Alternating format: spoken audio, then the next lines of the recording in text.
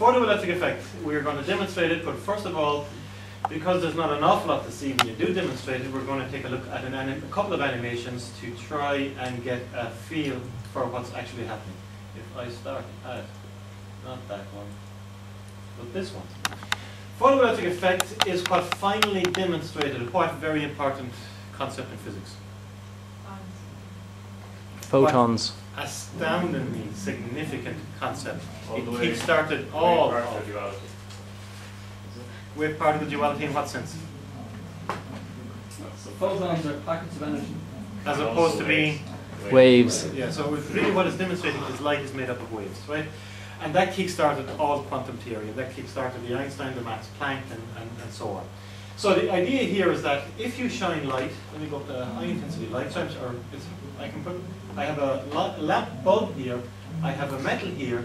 If I shine sufficient uh, high frequency light at this, I'll knock off electrons and the electrons will be attracted over. This is the positive end, it's not obvious, but this should be the positive end and the electrons get attracted over. So I turn it on, it's automatically on. I increase the intensity of the light and no electrons whatsoever are being knocked off. Now the wave, the understanding of light based on the wave theory says if you leave it for long enough, sooner or later, enough waves will come to knock an electron off.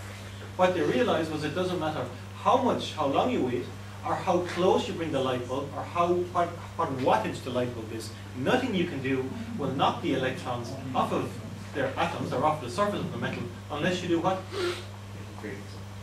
Want you to increase or decrease the frequency.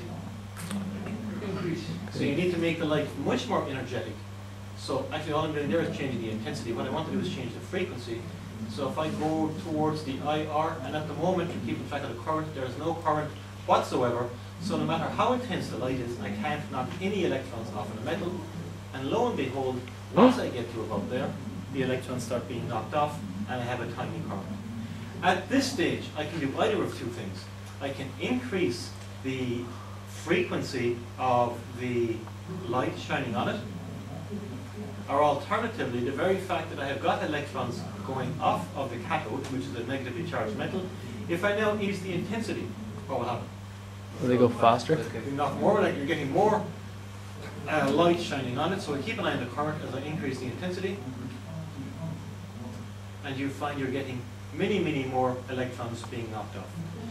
And the understanding of this, and it was Einstein who postulated, they knew of the phenomenon, it was Einstein who postulated the ex explanation. He suggested, you know what? He said this would make sense if we consider light not so much to be a wave, although we do know it's a wave from Young's interference and Young's slits and all of that. He said, I'm not saying light is made up of particles, but wouldn't it sort of explain what was going on if you suggested that light was made up of little bundles, and either the bundles have enough energy to knock the electrons off, in which case each bundle will knock off an electron, or alternatively the bundles don't have enough energy to knock electrons off, in which case it doesn't matter how many bundles of energy you throw at it, or how intense the bundles of energy are, they're not going to be able to knock it off.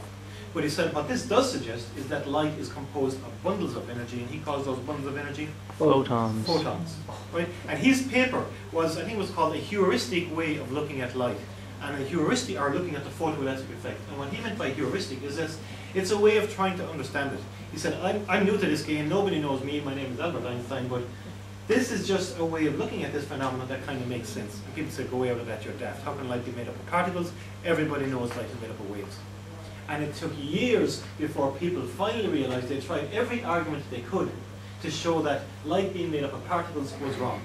And no matter what they got, they couldn't get over this little phenomenon right here. So the photoelectric effect is actually what won Albert Einstein the Nobel Prize. And that's pretty much all there is to it. Right, for this, I need to put on, we saw there there was zinc, so here's my little piece of zinc. This is one of the reasons why I could never get this to work before. I even did this this morning and it worked fine. I tried it now and it didn't work. And the only thing I changed in between was that I just sanded it. So I think, I'm hoping the only reason it doesn't work is because I've got to make sure there's nothing but zinc there, so I don't want an oxygen or an oxide layer on top. I put that on. I now need to charge this negatively because I want to put lots of electrons onto it. So this guy here, charging by induction, we don't need to worry about how it works. Bring this guy up to it. I can't see what's going on. Put my finger up, take my finger away, take this away, and it is now charged negatively. We'll see later on what happens if you charge it positively. So it's charged negatively. I now bring up ultraviolet light. In fact, what I might do is start off with normal light, just to show, I haven't done this, you just see if it works normal light.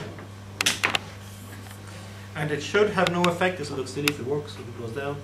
So it has no effect on it whatsoever. If you had four or five or ten or fifty light bulbs, it would have no effect on it whatsoever. Because, The intensity? yeah, the, But, but surely, how do you surely, surely even the high wavelengths are, are still coming out of that light bulb. uh, the low wavelengths, high frequencies. So it's the high frequency that's going to pop the electron off. yeah, but surely they're all coming out of the light bulb as, as well as the as the low What sort of frequency do we need coming out of it? Of Right. corresponding to what wavelength? High frequency, low wavelength. So you need, you need ultraviolet light, Okay. and this guy wouldn't have ultraviolet light. So you've Oh, got okay, white okay. light, you've got from yellow on one side, Richard of York is, so you've got red up to blue, red up to, and maybe just hinting on a tiny bit of violet, Alright. but not enough to bring it down. So it's not the intensity that's important, it's not how close it is that's important, it's the frequency that's important, frequency on the wavelength. All right, Ross? So we get rid of that, and we now come on with our ultraviolet light, and again, this will look silly if it doesn't work, and it'll also look good if I saw what was happening, so I bring it right up to it, right up to it. Can I you, don't you can get that, on. John? Oh, it is. Yeah. This is quite possibly the most important, least impressive experiment in the history of science. It's really weird. So is that becoming radioactive? Shooting No. electrons and moving it. And we take it away, so it's nothing to that, so nothing's going on. By hitting the ultraviolet light on it and knocking off electrons, and you're right, that's the Where are the electrons going in this? Like, where are they going to and from? There were millions of electrons on the surface of that when I charge it negatively. Okay. So by shining the electron, the UV light on it, some of those electrons got enough energy to actually leave the atom, to leave this altogether. I'll say when that when the electrons leave that thing altogether, that thing moves out. Yeah, so it was negatively charged. Negatively charged, two particles similarly charged repel each other. So as I got rid of the excess negative charge, these guys no longer repelled each other and the two Right. legs came down. So do you have to give it the electrons before you can take them away? Yeah, you have to give them an excess supply of electrons because really you can't, it's too difficult to knock the electrons from that if they're tightly bound. Even if you have a really like I don't know. Uh, possibly if this was going from ultraviolet up to the X-ray. The X, in fact, the X-ray would knock electrons off. X-rays are therefore ionizing radiation because there'll be metal there that's minding its own business, and this comes onto it and it knocks electrons off. Whereas with UV, it'll probably only be strong enough to knock extra electrons off. But then it also depends upon the metal. It's much easier for cesium to lose electrons than it is for something like zinc. Zinc we use particularly because iron, the electrons are even too tightly bound in iron. And it's again more than, it's not so much correct to say that there's a, each atom's got its own bunch of electrons. With a metal, you've kind of got a sea of electrons floating along the top of it. So you're just bumping those guys off. If you had a gas, each electron would, each atom would have its own electrons. But with a metal, the surface tends to be a little sea of them. We want to demonstrate a couple of things while we're here. First of all, we demonstrated that light wouldn't do it. But we want to demonstrate if it's charged, if I bring something up to it, if I charge it positively. So here we go, finally, we'll finish with this in a minute. Charge it once again. this case I'm charging it positively, take that away, take that away. It's charged positively. Now, I didn't know which was positive and which was negative until I tried the two of them there. So in advance, you don't have to know which is which. And all you do in this case is bring it right up close to it and hope that the leaf does not fall. And we won't hold it there too long, just in case. With the leaf, nothing happened to the leaf, No. because in that case it was charged positively, it had lost electrons to begin with. So by making it lose more electrons, if anything, the leaf would just diverge farther. And I don't think, even if you started off with it neutral, which was Ivan's question, if that was neutral to begin with, and I shone the UV light on it, it doesn't, it's harder for it to lose electrons when it's neutral than it is to lose electrons when it's got an excess of electrons. So it's easier to do it when it's charged negatively to begin with.